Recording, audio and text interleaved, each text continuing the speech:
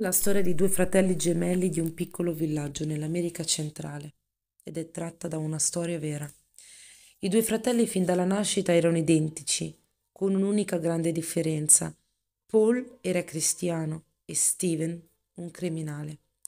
Ogni giorno Paul parlava al fratello del Signore, gli mostrava amore, gioia, pace, verità. Ma Steven al contrario, si annoiava di ciò che il fratello costantemente gli diceva.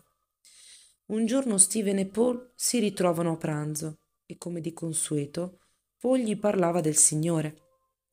Ma Steven, assopito nei suoi pensieri, pranzò e se ne andò.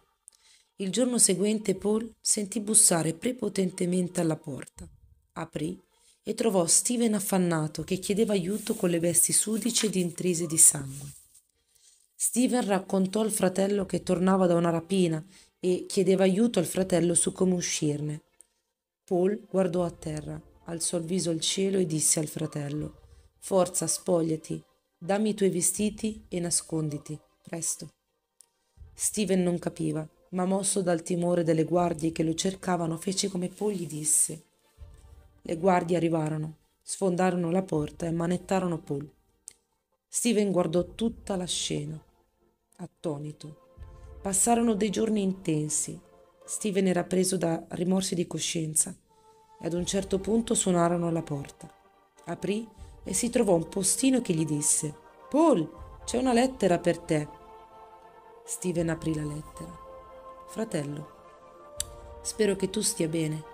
Per molti anni ho tentato di spiegarti l'amore di Dio, la rinascita, la salvezza in Cristo, ma il Signore ha avuto un disegno diverso per me. Ho indossato il tuo abito sporco di sangue per mostrarti il sacrificio di Cristo per noi. So che lo hai compreso. Vivi ora una vita nuova, pura, ricercando la pace e l'amore che solo Cristo Gesù è in grado di darti. Rinasci. Io ti saluto e ti benedico nel nome del Signore. Domani io terminerò i miei giorni mi hanno condannato alla pena di morte. Steven aveva ucciso una guardia durante quella rapina, ma mai gli è sfiorato il pensiero di una pena definitiva. Immediatamente, preso dal panico e dal pianto isterico, Steven prese la sua auto e corse in tribunale. Entrò sbattendo le porte ed urlando.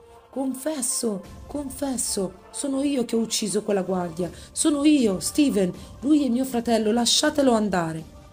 Una guardia lo guardò con pena e disse Vai a casa, hai bevuto?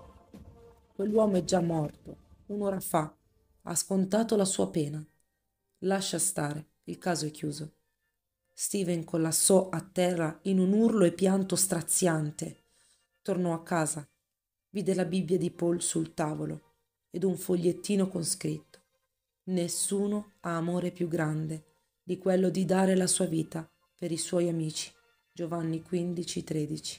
Steven capì ed iniziò a leggere le scritture. Cambiò vita divenendo pastore e fece sua la scrittura. Bisogna che nasciate di nuovo.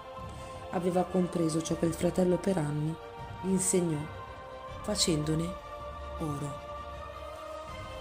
Questa storia è straordinaria, insegna tantissimo ha insegnato tanto anche a me.